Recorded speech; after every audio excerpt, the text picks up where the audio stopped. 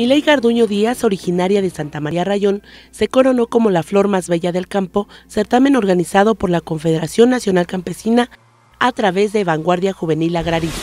Congregar aquí a todos los jóvenes de la flor más bella del campo, de canto, de oratoria y que estos jóvenes hoy eh, se prendan con el entusiasmo para que el día de mañana sean buenos ciudadanos y también que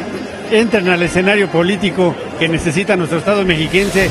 El dirigente estatal de la CNC, Ezequiel Contreras Contreras, señaló que la imagen de la mujer campesina ya cambió, pues hoy en día son académicas, estudiantes, universitarias o profesionistas, y este concurso es un escaparate para demostrarlo. En este lugar de artesanías, donde hay mucha gente que trabaja, labora el campo, eh, cultiva la tierra, que nos da presencia, nos da origen y destino, pues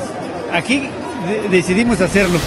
Fueron nueve las participantes, tres de San Antonio La Isla y el resto de Almoloya de Juárez, Calimaya, Tenango del Valle, San Miguel Chapultepec, Tezcaliacac y Santa María Rayón, quienes realizaron pasarelas en traje típico, casual, de noche y contestaron una serie de preguntas de cultura general. Y, y la belleza,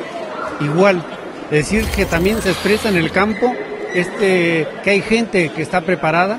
que, las mujeres hoy juegan un papel fundamental, los jóvenes,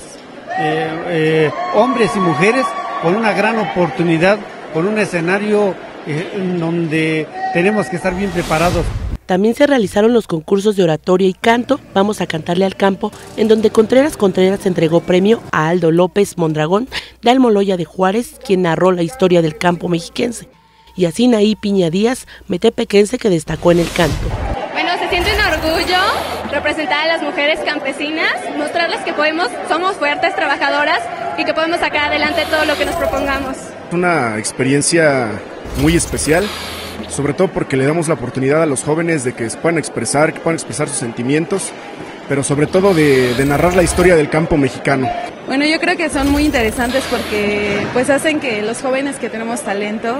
pues salgan a que la sociedad nos conozca.